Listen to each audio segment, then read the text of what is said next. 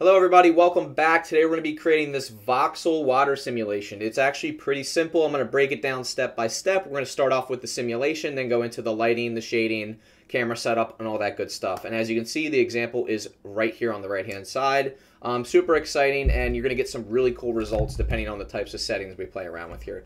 So let's go ahead and hop right into it. Alright, so guys, we are in our default document right here. I just went ahead and saved this beforehand, so I'm going to go ahead and delete the light to start off with. And then we're going to go ahead and turn our cube into a physics simulation. So go ahead and click on your cube, go to Object, go to Quick Effects, and then Quick Liquid. Oh, I just realized you guys can't see that. Apologies. All right, so quick effects, quick liquid. As you guys can see, if you press play here, we do have a fluid simulation already. So now the goal here is to set up a cache folder and then convert this to mesh. So I'm going to head over to my domain settings on the right hand side here. I'm going to scroll all the way down to this setting called cache. I'm just going to go to my desktop and make an entirely new folder. Call it tutorial cache. Head into that folder and then click accept. And then you're going to want to change this little setting here that says replay to all. And then for the frames, I'm just going to do 100 frames for now. And then go ahead and check mark mesh right there. And then let's click on bake all. Now it's going to go ahead and rebake the simulation for us. All right, let's go ahead and play this back. And as you guys can see, we now have a fluid simulation converted to mesh very quickly here in Blender. So it's nice that we have these built-in tools. Now you guys can render this out to any frame amount you want. For now, I'm just going to stick to 100, and I'm going to kind of continue setting up the scene here. Um, actually, let's just do 250. I'll just do 250 real quick. And I'm going to bake that again. It's going to bake all the way out to frame 250. Now, my resolution right now is about, I think, 32 by default. Yeah, let's see here. 32 by default, the resolution divisions. You guys can go ahead and change that to whatever you'd like. For now, I'm going to go ahead and snap to the camera. I'm going to go to my solid view so I can kind of see what's going on. Just play this back. Um, and now I'm going to start kind of setting up my scene here. So the very first thing I'm going to do is I'm going to change my dimensions to 1080 by 1920. I'm going to click on my camera, change that to an orthographic perspective, and just zoom out here a bit so we can see our scene. I'm going to add in a floor plane and I'm going to bring it down below our fluid simulation. And I'm going to scale it up so that it's all the way around our whole scene here. Now, I'm just going to go ahead and hop over to Cycles GPU. And I'm going to give our world a kind of white color here. And then I'm going to give our ground plane a kind of blacker surface here, like a dark surface like that. Go ahead and click on your liquid and just give that like a nice kind of blue tint for now, and we'll come back to this. Go ahead and hide that main cube that was acting as our fluid object. And now here's when we're going to turn everything into a voxel simulation. So we have our fluid simulation. It's looking fantastic, but we're not getting that pixely effect that we want. So how do we do that? It's actually quite simple. We're going to head over to our modifiers tab, click on add modifier, and then go ahead and click on the remesh modifier. Now, there's going to be different options under here. There is a voxel option, but I'm actually going to choose blocks. And now, as you guys can see, when I choose blocks, it's now going to take that entire fluid mesh and remesh it into a blocky format. So if I go ahead and press play here now, you can see we have this awesome pixelated look, which is totally customizable. Now what's really nice about this is right now we are on a depth of two or four, and if we bump this up to maybe five or six, you can see that as I zoom in here, we still kind of retain this fluid look, but it's so much more blocky. Now it's gonna be a lot easier to see in solid view, so I'm gonna play it back in that as you guys can see, we have our fluid simulation, right? I'm going to go ahead and play it back from the beginning. And it looks so cool. And now you can go here, and all you have to do is change your modifier, and you're going to get completely different results, right? All right, let's go ahead and snap back to the camera. We pretty much have everything set up. It's just a matter of adding some cool lighting and textures to this thing. So as you guys probably saw in my original um, tutorial, this looked like more of a rough glass shader. So I'm going to start by just kind of raising the roughness here a little bit. That is already starting to look awesome. And then what we're going to do is just add a simple gradient texture to our fluid simulation. So I'm going to head over to the shading tab here, snap back to my camera, go to rendered view, zoom out so we can see our nodes here.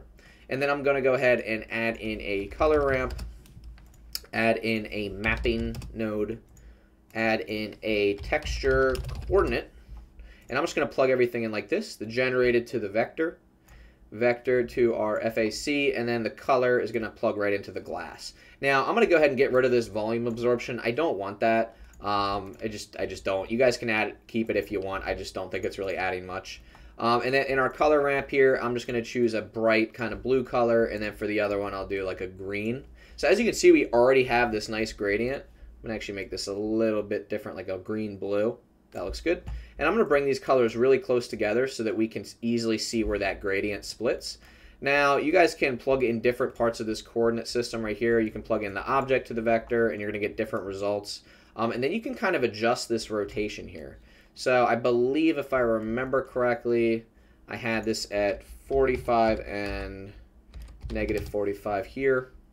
I think with my generated plugged in, or was it my normal?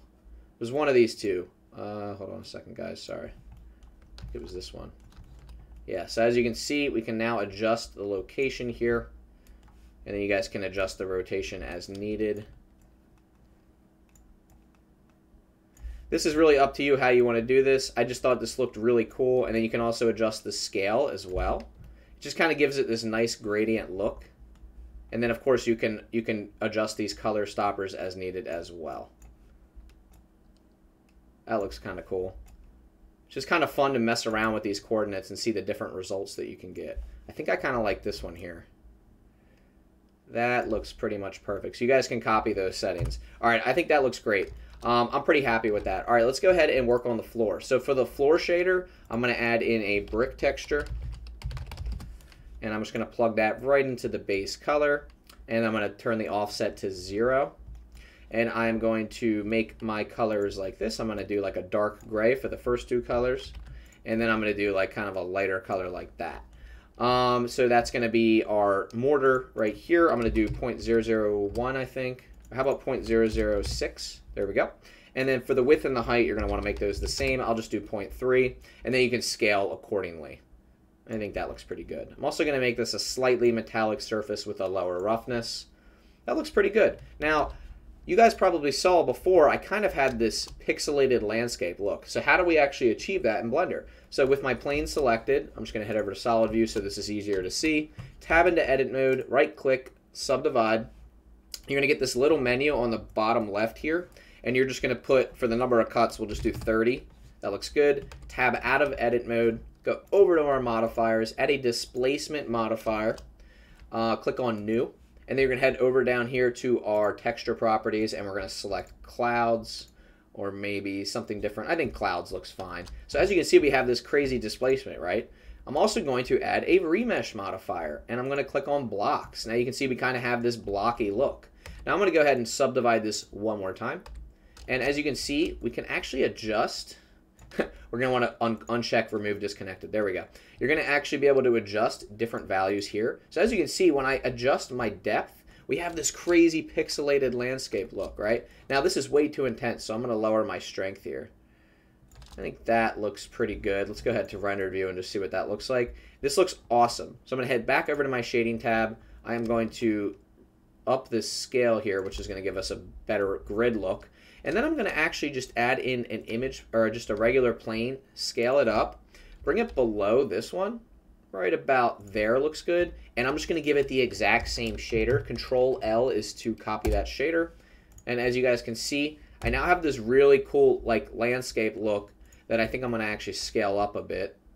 Okay, now the goal here, guys, is that you don't want your landscape to interact too much with your liquid simulation. Now, it's not actually going to affect the simulation, but we don't want it to interfere so much where it, it looks bad. So, like visually, um, like right now, it looks pretty bad. So I'm going to move this around.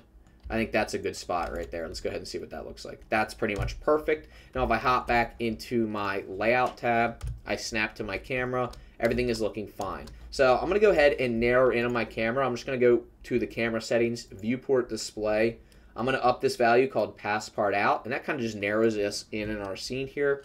And then I'm going to enable some depth of field here. So I'm going to collapse that, click on depth of field. And as you can see, we already have this really cool depth of field look, and I haven't even targeted this yet. Um, but actually, the default settings look pretty good. You guys can go ahead and adjust this f-stop to whatever you want. A value of 5 looks pretty good. Now, if we go ahead and play this back, let's just see what this looks like so far. It looks pretty cool. Now, again, guys, you can go and you can re rebake the simulation with whatever value you want, but you do want to make sure that our simulation isn't getting cut off by the floor. So I'm going to go ahead and click on our floor. Bring it down just a bit so that it's barely meeting the bottom here. And as you guys can see, this looks really, really cool. Um, there's probably like one more thing I'm going to do. I'm going to add a light source. I'm going to add in a light, an area light. I'm just going to bring that up, scale it up, and I'm going to make the power 3000. All right, now we really have some good lighting on this scene. I'm just going to bring this all the way up above our camera here. This looks fantastic. And you guys can adjust the lighting as needed, but I actually think this looks really, really good so far. The only other thing I would probably want to do is go over to my domain, go ahead and click on free all. And then for the resolution, I'm going to do 50. Okay, and now I'm going to go ahead and click on bake all again. As you can see at the bottom, that little timeline marker is scrubbing across. And it's actually going to rebake our simulation at a higher resolution. So before it was 32, now it's going to be, uh, what did I say, 50. So just go ahead and give that a quick second. And as soon as that's done, you're going to see the difference in the result that we're going to get. It's going to be a higher quality fluid simulation, and our voxels or our pixelated look should look even cooler now. So let's go ahead and check this out.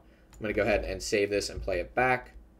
And as you guys can see, we're getting a little bit more detail here. And if you guys wanted even more detail, remember, all you have to do is go to your remesh modifier and just up that count. And now you have still have a pixelated look with an even higher count. So you're the basically every time you up that value, that octree depth value, it's actually going to just create smaller boxes, smaller cubes for the simulation. And then if we go forward here, you can see it's still looking awesome. Now you see it's glitching at the bottom a little bit. Be careful with where you put your floor. I actually noticed after I rendered mine that I was getting a little bit of flickering. I'm just going to lower the floor a little bit. You can see that how it affects everything right there. Should not be flickering as much now and it has to do with where it's clipping into the floor because you're just going to get these weird shadows and these weird lights. Um, this is looking pretty good. I think I'm going to set up some render settings and we should be good to render. Um, I'm just going to go to like frame 30 or so, kind of see how that looks. Looks pretty good. I think I'm actually going to go to my area light and make this 5000. I just want it to be a little bit brighter. And I think I'm going to go to my color management settings and just raise the exposure just a little bit. I just think it looks just a little bit nicer. Awesome. And again, guys, you can adjust your environment however you like. I just wanted to show you how to make this pixel effect. Now, for my max samples, I think I'll do 150. Denoising, we can do OptiX. Um, I'm going to keep the dimensions as they are. Light paths, I typically make these all 5 or 10. You don't really have to make volume 5, but it, it doesn't matter. My computer is fast enough for it. Uh, 5, 1, 2, 3, 4, 5, 25 for the total. You can click on Fast GI approximation, but look what happens to our glass. Completely ruins the glass. So I would suggest not doing that. It will render faster, but it won't look as good. All right, let's go ahead and render one frame and just see what we're getting here. All right, we are getting, it looks like it's going to be sub 20 seconds, which is fantastic. Yeah, we're getting a, actually a pretty good time here. Now, you can get this down even more if you guys go ahead and check out my quick render settings. Um, it doesn't look bad. It, it I might do a, couple, a few more samples. Now, for this particular example, I've already rendered this for my Instagram reel, so I'm probably not going to actually fully render this animation, but this project file will be included if you guys support me on Patreon. I have an entire Google Drive full of all of my tutorial files, so you guys can actually go ahead, bake this out. The entire scene is set up for you. This is looking fantastic, and these are just a lot of fun to mess with and watch. Now, if we if we wanted to, we could even pull down this value even more. As you can see, it's still going to work. So watch this. This is a really low value. This is a low value of 4. As you guys can see, we're still getting this really cool effect. Um, you can actually see the particles right here. I don't know why they're overlaid. They shouldn't be, but how cool is that, guys?